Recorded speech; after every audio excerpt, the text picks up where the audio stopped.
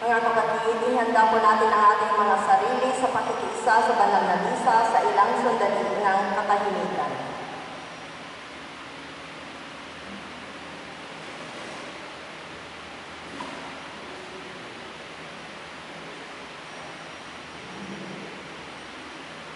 Tayo po ay tumayo at sumabay sa pag-awit ng pambungan na awitin.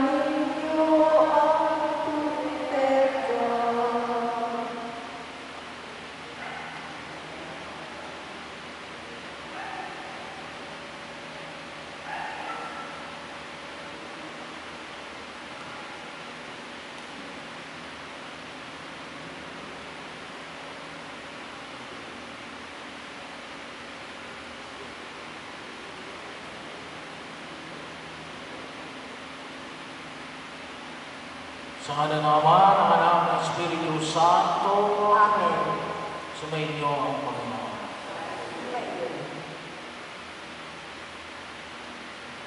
Sa Ebanghelyo ang palabula tungkol sa may-ari ng upasan at sa kanyang dalawang anak na inagpapahiwati na mas mainam pa ang tao na bahala sa pagtugon sa panyaya ng Diyos kaysa sa taong tumugon ngunit sa lugar naman ang kanyang ginawa.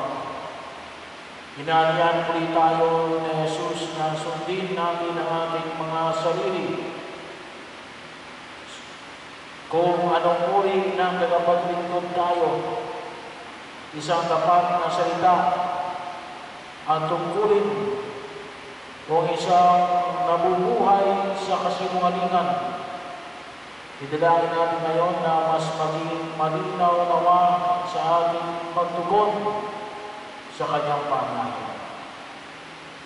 Mga kapatid, aminin natin ang ating mga sarapang tayo maging malapit sa pagliliwang ng banal na pagkain na tutulot ng kapatawaran ng may kapal. Panginoon, kami nagkasala sa iyo. Panginoon, kaawaan mo kami. Kawan. Kaya naman, Panginoon, ipakita mo ang pag-ibig mong bagas. Kami ay linapin at sa kahirapan ay iyong iligtas. Awan tayo ng mga pangyarihang Diyos, patawarin tayo sa ating mga kasalanan at pagbabayan tayo sa buhay na walang hanggan. Amen. Panginoon, kawan. Panginoon, kaawaan mo kami. Kristo, kawan. Kristo, kaawaan mo kami. Panginoon. Panginoon, kaawaan kami. Papuri sa Diyos sa kaitaasan.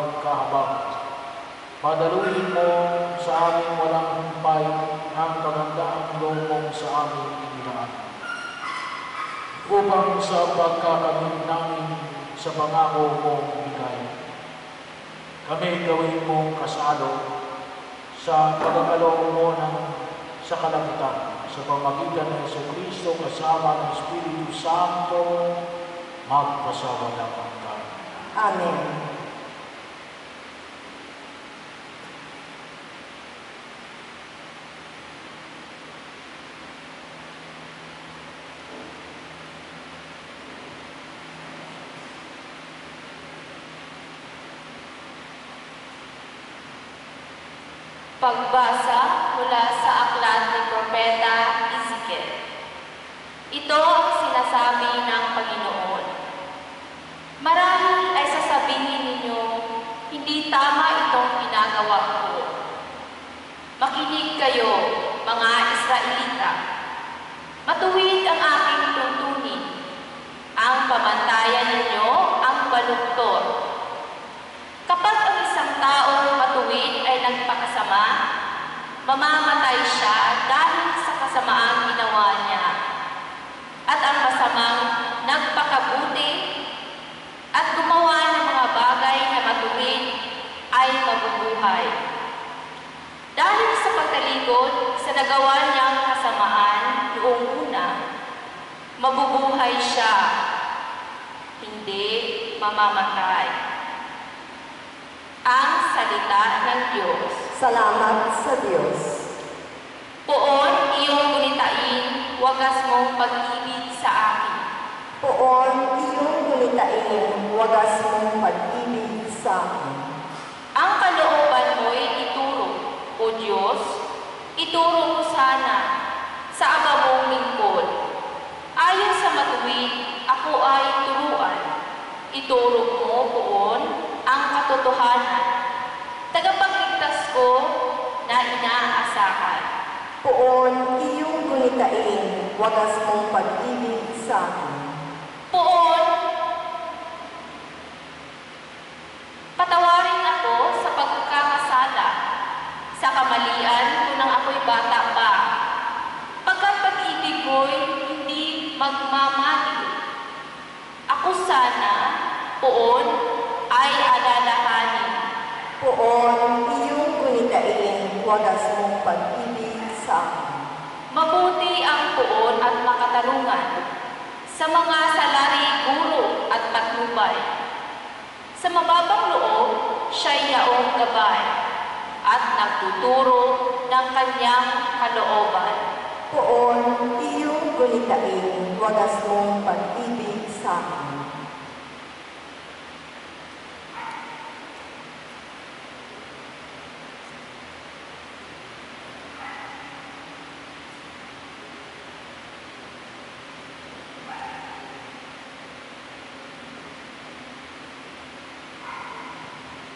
Pagbasa mula sa sulat ni Apostol San Pablo sa mga taga-Pilipos. Mga kapatid, nagbibigay ba sa inyo ng kasiglahan ang buhay na nakaugnay kay Kristo?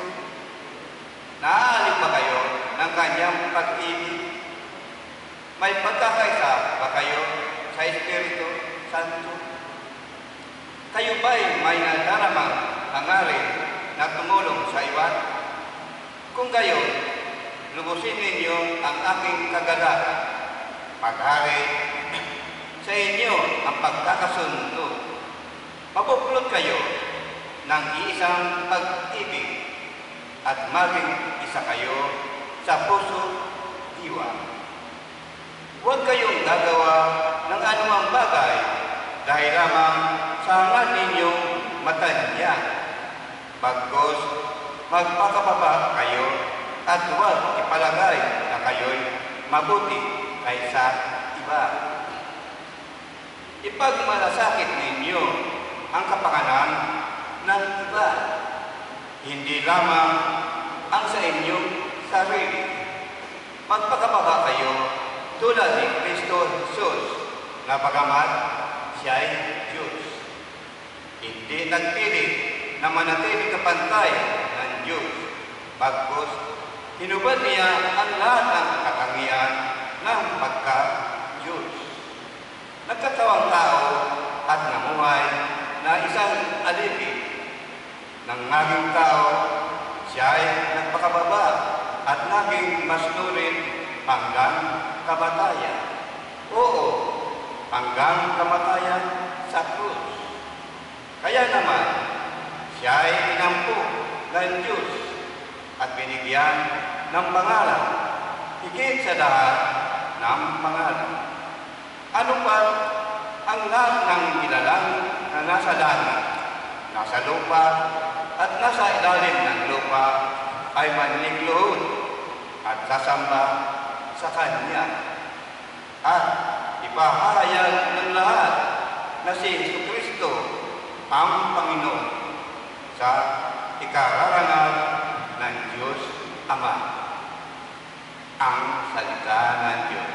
Salamat sa Diyos.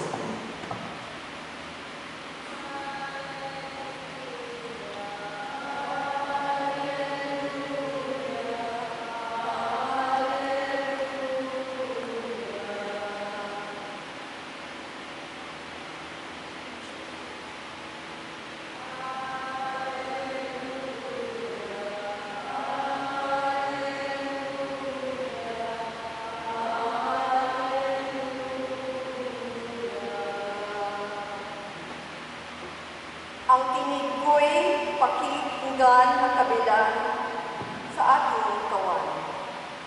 Ako'y kanilang susundan.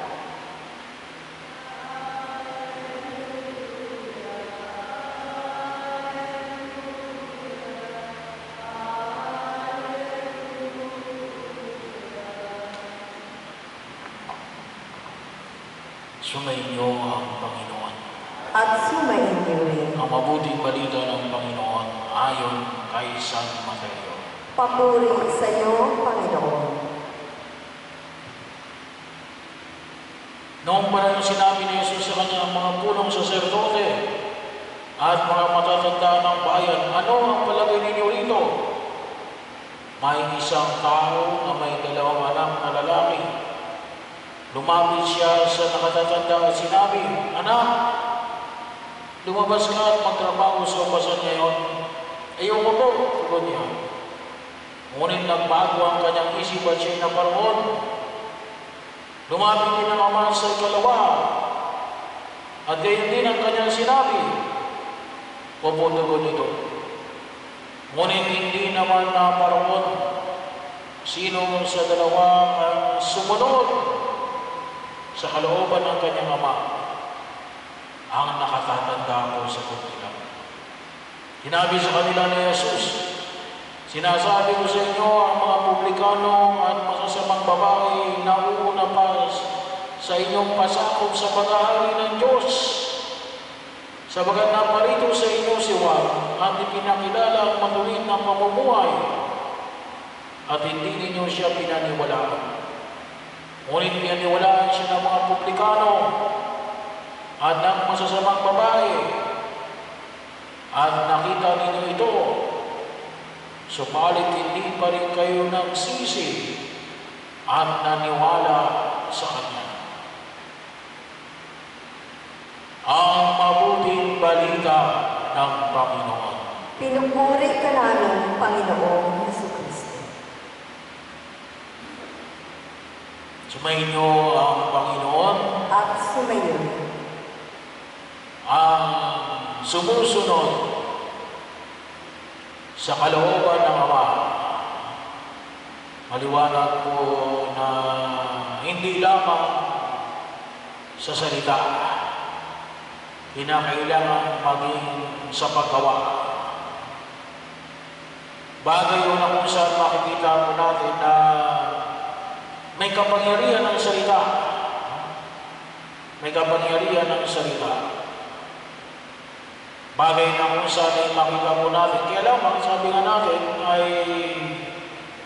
yung salita ay pwedeng maka-inspire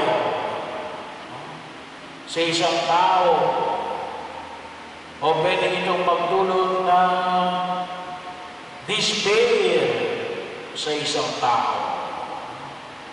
Pwede ito ay magpataas ng kalooban ng isang tao o pwede ito'y apakan ang karangalan ng isang tao. Very powerful ang salita. May mahalagang pa makita mo natin yung ginagawa ng salita. Pero yung pagsunod sa kalooban ng Diyos, hindi lamang natatapos sa salita. Kinakailangan may maliwanag na pagkilos. May maliwanag na pagkilos.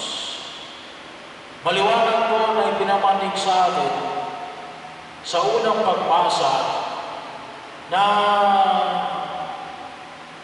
tayo ay inaanyahan ng Diyos na sumunod sa kanyang salita. Ano nga ang sabi niya? Ah, sumusunod sa kalooban ng Diyos ay magkakaroon ng buhay. Ang sumusunod sa kalooban ng Diyos ay alin? Daranas ng kamatayan. Hindi lang kaparusahan, hindi lang kahirapan. Death, kamatayan. Yan po ang dulot ng kasalanan. Kaya ang tawag natin ay sala. Missing the mark. Kaya ang tawag natin ay kasalanan. Sumala. Hindi tumama. At yung pagtama ay hindi lamang sa bibig, maging sa pagkilos. At ito yung hamon ay pinamamanig sa atin ng publika. Pero ang kalimitan nga sa bayan, paano? Paano kung masabi na, na talagang maipakita natin sa gawa? Dalawang maliwanag na pagtugon para masabi ko natin na ito ay pagganap sa kalooban ng Diyos sa gawa.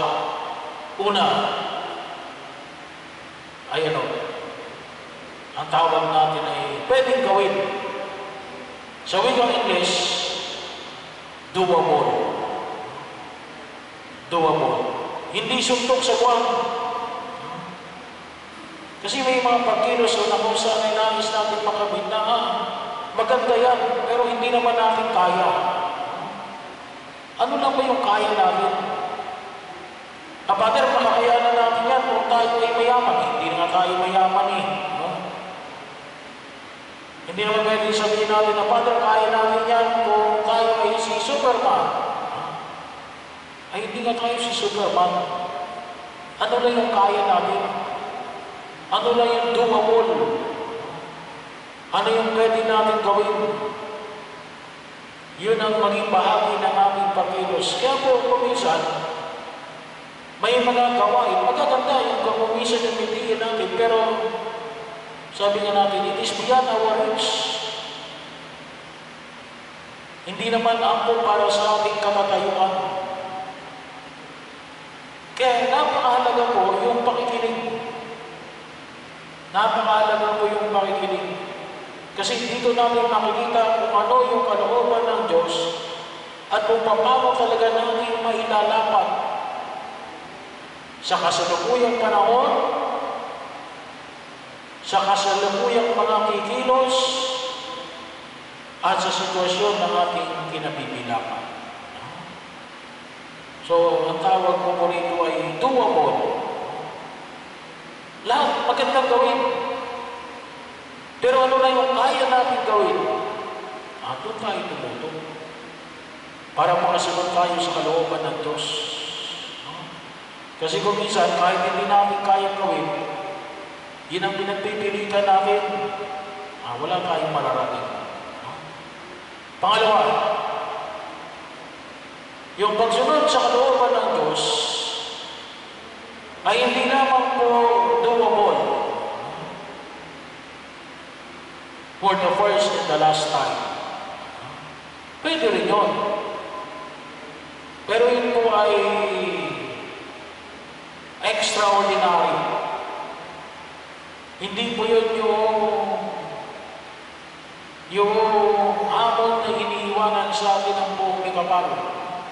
Pwede mo nga magawa, pero you could not replicate it. You could not multiply it. Ay, may kulang. So yung kinakailang pagkilo siya rin, repeatable. Sabi nga, isa pa nga, pwede mong ulitin. There is regularity.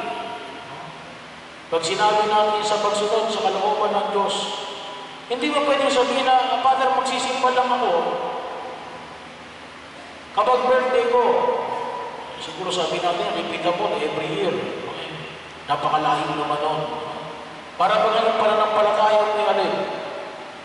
Added lang. no? Hindi ikaw yon. Hindi. Pag sinabi mo, ikaw ay sumusunod sa kalooban ng Diyos, tawag na ng mga banyagay, it is your second skin. Ano? Bahagi ng pagkilos mo. Ang tawag natin na ay pamamaraan ng buhay. Lifestyle. Kaya kinakailangan na yun yun. Repeatable. Pwede mo ulitin. Hindi lamang pang one-time event. It should be a part of your life. Pag sinabi mo ito ay kalooban ng Diyos, ito'y bahagi ng iyong buhay. Kaya ito yung hamon na yung pinapakayag ko sa atin. Alam mo, sabi nga po natin, ano, yung pagkilos natin, lalo-lalo ako sa programa natin sa aming parokya. Tulad na lang po halimbawa ng ating pagpapahalaga sa mga may sakit, lalo-lalo na po yung ating 7 to 7. Tuwing araw ng Webes, yung 7 o'clock in the morning, hanggang 7 o'clock in the evening na pagkakanin sa banal ng sakramento sa altar. Ah, sabi ko ay sa mga taong pagkatapos kong mahanap kung sino yung pwedeng mamahala, sabi ko, Sister, pwede ba na mapunuan ng magtatapon na mula 7 o'clock in the morning hanggang 7 o'clock in the evening. Kinakailangan lamang natin ng labing dalawa na katao, minimum. We start at 12, katulad ng labing dalawang alagad. Labing dalawang alagad sa labing dalawang oras tuwing araw ng Webes. So minimum. So sabi ko nga, doable. Kasi bakit? It requires a minimum number of people. 12. Mas dumami, di mas maigi. No? Pero yun yung ating patuloy na hamon. At sabi nga natin, regularity. Tuwing kaya every Thursday. Tsaka yung ating pong healing mass. Kapag Webes, kailan po kumisan yung healing mass natin kapag yung na kapag po may mga time na wala ako, no? Nalimbawa po ay may mga mahalagang schedule, maghanap tayo ng pari, kumisan yung ibang pari ay hindi nakapag-healing. no? Kasi ah hindi naman daw sila healer. no? But anyway, makita po natin ay doable and repeatable. Hindi ko natin kinakailangan na napakagandang programa. Sabi ko nga, mahalaga akong pagkilos ito. Kasi bakit? Kasi, sabi nga natin, maaaring siguro hindi natin napapansinganin, ano ang ating programa para sa mga lupa? Ah, ito. 7 to 7, ang magdasal para sa mga may sakit. Bakit? Isang mukha ng mga duga ay? Ang mga may sakit at ang mga nag-aalaga sa mga may sakit. Ako rin po natutuwa kasi nung nakaraang linggo, sabi ng mga Knights of Columbus, Father, kami ay ay susubukan namin ah, magdala ng konting regalo sa sampu lang muna, sampu lang muna na may sakit natin, na mga kapatid, na dinadala ng mga lay minister sa Holy Communion. No? Alam niyo kasi we have 25. 25 na mga may sakit na nakumpisal ko, napahiran ko ng mga may sakit, na hanggang ngayon ay hanggang ngayon ay binibigyan pa natin ng komunyon. Ano? Kasi siyempre yung iba, yung iba yung mauna. Pero yung present number natin ngayon na mga may sakit ay 25. Sa maliit nating parokyang ito, hindi pa kasama rito yung mga may sakit na ayaw mapapain ng langis kasi natatakot sila. no? Na baka mamatay sila. Ay, hindi ho. no? Yung pong pagkapain ng langis ay hindi lamang para sa mga mamamatay. Pero sabi ng Knights of Columbus sa Yalin, na Father, ay kami ay magdadala muna sa sampu ng konting regalo para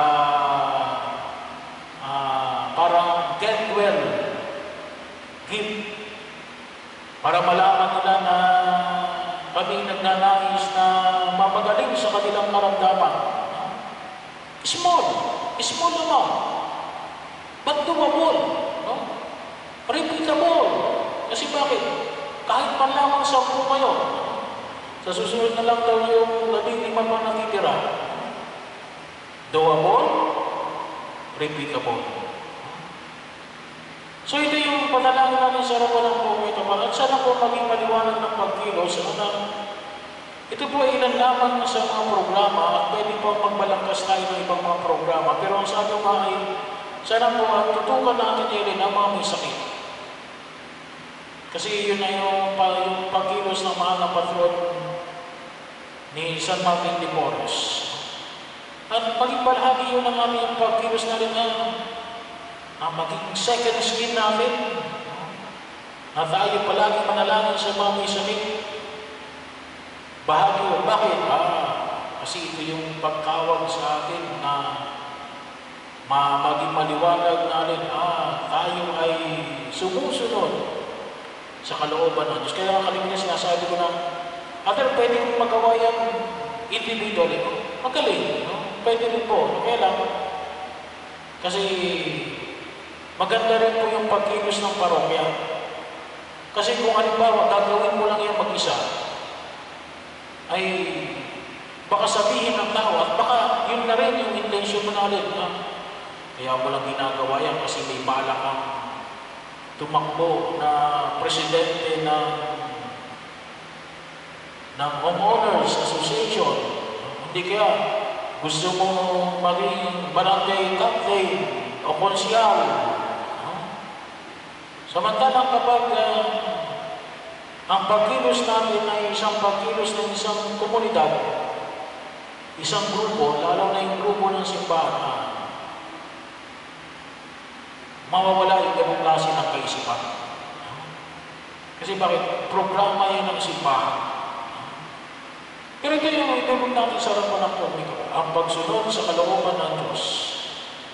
Tingnan natin kung alin, kasi maraming gusto kalooban ng Diyos eh. Alin yung pwede natin gawin?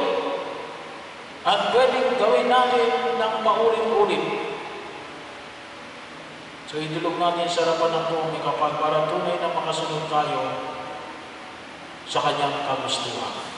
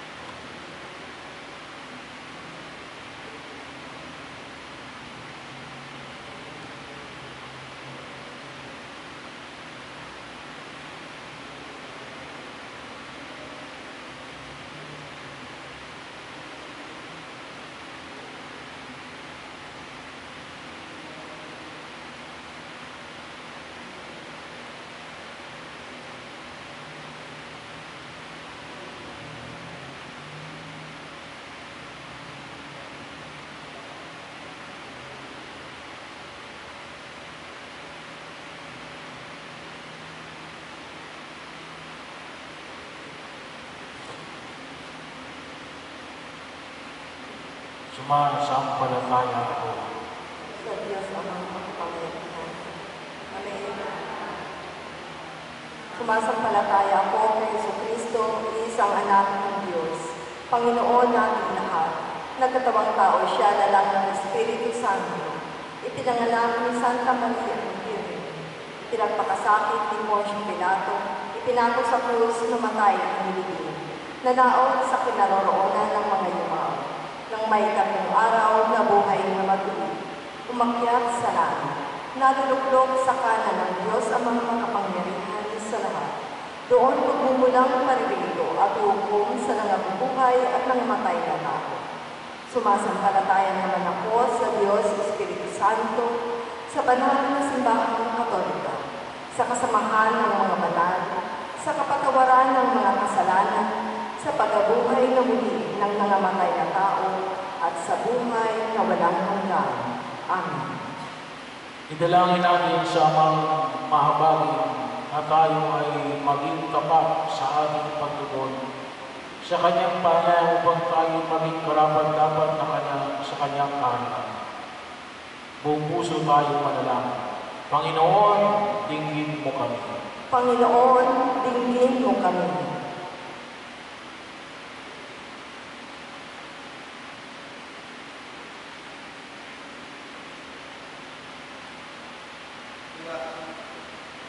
Iwaksinawa ng mga pinuno ng simbahan ang karangyaan sa buhay at manatiling tapat sa pagtugon sa paanyaya ng Diyos upang sila'y maging kapamipaniwala sa bayan. Manalangin tayo. Panginoon, dinggin mo kami. Nawa ang mga namumuno sa pamahalaan ay magsikap na puksain ang lahat ng uri ng karahasan sa pamagitan ng mapayapang pamamaraan. Ipagtanggol nawa nila ang karapatan, danga, dangal at buhay ng mga mahirap. Manalangin tayo. Panginoon, dinggin mo kami. Nawa ang mga guro at katikista ay mag- magtaguyod ng kamalayan hindi lamang nakatuon sa pagbabahagi ng kaalaman, kundi sa paghuhuko ng moralidad at konsensya ng tao.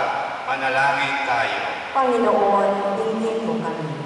Nawa ang mga walang trabaho ay mapuno ng pag-asa at magsumika na makahanap ng sapat na kabuhayan upang matulungan nila ang kanilang sarili at ang kanilang pamilya. Manalangin tayo. Panginoon, dinggin mo kami. Isaalang-alang nawa ng mga negosyante at ng mga may- mayayaman ang kapakanan ng inang kalikasan at, at ng mga katutubo. Iwagsi nawa nila ang mga proyekto at gawain makasisira sa kapaligiran. Manalangin tayo. Panginoon, dinggin mo kami.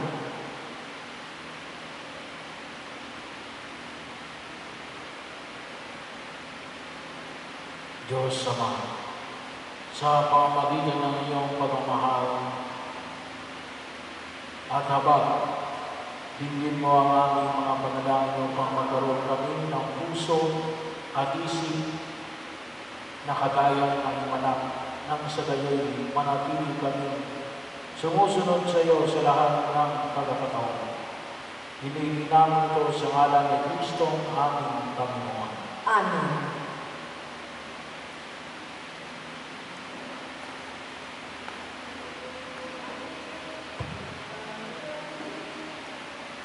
Ang alay na ito, mga biyayang nagmula sa pagpapala mo. Tanda ng bawat puso pagkat inibig mo. Ngayon'y nananalig,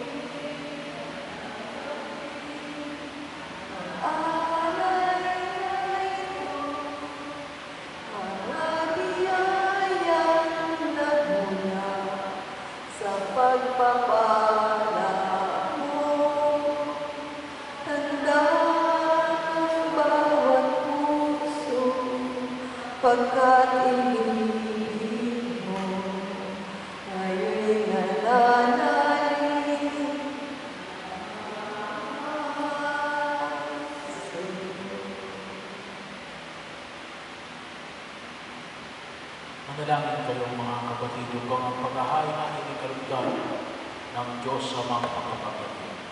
Tanggapin nawa ng Panginoon itong paghain sa iyong mga kamay, sa kapurihan niya ang karangalan, sa ating kapakinabangan at sa buong sambayanan niyang banal.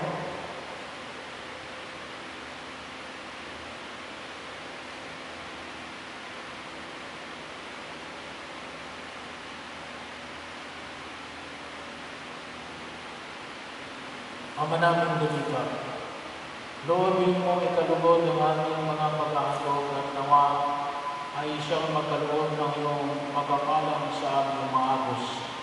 Sa pamagitan ni Yesu Cristo kasama ng Espiritu Santo, magpasawalang hanggan.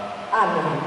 Sumainyo ang Panginoon At sumayin, at sa Diyos ang inyong puso at na namin sa Panginoon. Pasalamatan natin ang Panginoong ating Diyos. Marapat na siya ay pasalamatan. Ama namin makapangyarihan, tunay ang marapat na ikaw ay aming pasalamatan. Kahit na ikaw ay pinagdaksila ng isang katauhan, ikaw ay patuloy pa rin sa iyong pagmamahal. Ikaw na nagpuno